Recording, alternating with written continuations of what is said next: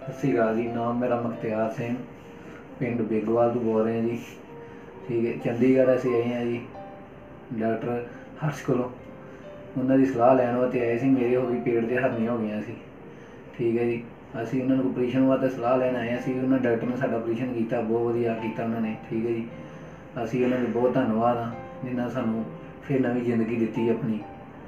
ਤੇ ਇਹਨਾਂ ਦਾ ਹੀ ਬਹੁਤ ਧੰਨਵਾਦ ਕਰਾਂਗੇ ਇਹਨਾਂ ਦਾ, ਤੇ ਅਸੀਂ ਤਾਂ ਕਹਿੰਦੇ ਸ਼ੁਕਰਗੁਜ਼ਾਰ ਜਿਹਨੇ ਸਾਡੀ ਗਾਂ, ਸਾਡੀ ਜਾਨ ਪਾਈ ਸਾਡੇ ਸਰੀਰ ਦੇ ਵਿੱਚ। ਸਾਡਾ ਆਪਰੇਸ਼ਨ ਬਹੁਤ ਵਧੀਆ ਕੀਤਾ ਇਹਨਾਂ ਨੇ।